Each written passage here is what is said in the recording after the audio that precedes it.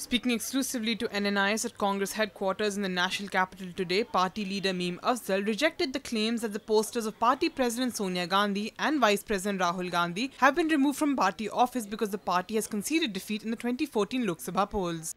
Afzal said the party workers are making arrangements for media interactions that would take place after the results of the elections are announced. And thus the party symbol hand and images of the party greats like Indira Gandhi and Rajiv Gandhi are being used as a backdrop. ये बिल्कुल गलत कहना है। ये जो अभी ICC में posters की आप बात कर रहे हैं, ये पोस्टर नहीं है बैकड्रॉप है। और जो कल मीडिया के लोग आएँगे और उनके लिए जो रूम्स बनाए जा रहे हैं अलग अलग मीडिया चैनल्स के लोगों के लिए, उसमें ये हर प्रवक्ता के पीछे लगाया जाने वाला बैकड्रॉप है। और आप जानते हैं कि जब हम मीडिया से कभी भी बात करते हैं, यहाँ ए के अंदर भी इसी बैकड्रॉप का इस्तेमाल किया जाता है। और हमारे प्रवक्ता शाम को जो डिफरेंट चैनल्स पर बैठते हैं उनमें भी अक्सर आपने देखा होगा कि जब अगर वो घर से अपने कर रहे हैं या पार्टी के ऑफ़िस से कर रहे हैं तो बैकड्रॉप में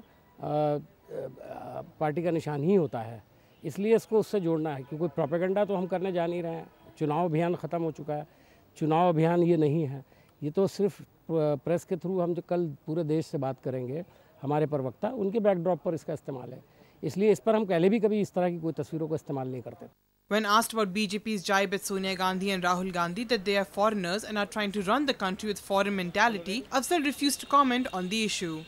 इतना घटिया सवालों का जवाब भी देना हम पसंद नहीं करते हैं Powered by NNIS.